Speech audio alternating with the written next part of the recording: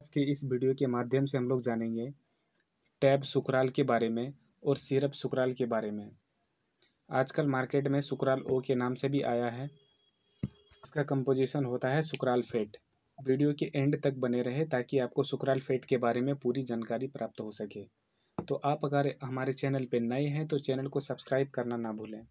तो दोस्तों, आइए वीडियो को स्टार्ट करते हैं।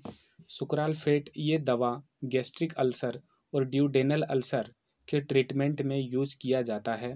ये दवा लोकल प्रोटीन और प्रोलिटिक जैसे कि पेप्सिन के साथ मिलकर अल्सर और घाव के ऊपर एक परत यानी कि प्रोटेक्टिव लेयर पैदा करता है और इसके वजह से बाइल एसिड ये सब अल्सर के कांटेक्ट में नहीं आ पाता है और अल्सर को फिर से सीवियर नहीं करता है। इस तरह पेप्टिक अल्सर ठीक होने का काम और भी आसान हो जाता है। इसके अलावा सुकरालफेट दवा का यूज़ रिफ्लेक्स ओसियोफेगाइटिस का केस में यूज़ किया हो जाता है। अब जानते हैं डोज ऑफ़ सुकरालफेट गैस्ट्रिक या ड्यूडेनल अल्सर के केस में वन ग्राम दिन में टीडीएस, यानी कि तीन बार, दो ग्राम बीडी दे सकते हैं।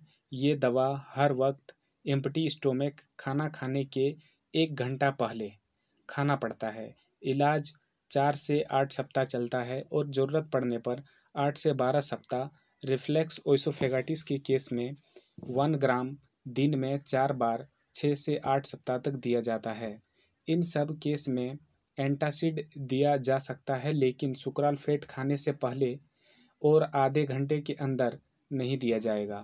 प्रिकॉशन, इसका कुछ खास साइड इफ़ेक्ट देखा नहीं गया है, लेकिन कभी कभी पेट सख्त हो जाता है एब्डोमिनल डिस डिस्कम्फर्ट होता है नोसिया स्किन क्रैश मुँह सूखना, सर चक्कर, ये सब भी हो सकता है।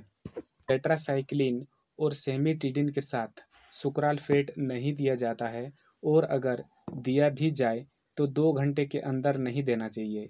किडनी में खराबी रहने पर यह दवा सावधानी के साथ और कम क्वांटिटी में देना चाहिए। प्रेगनेंसी में नहीं देना है चिल्ड्रेन को सावधानी से दिया जा सकता है। तो दोस्तों, आज की वीडियो में बस इतना ही। मिलते हैं फिर ऐसे ही अगले वीडियो में। वीडियो आपको हमारी अच्छी लगे तो चैनल को सब्सक्राइब करना ना भूलें।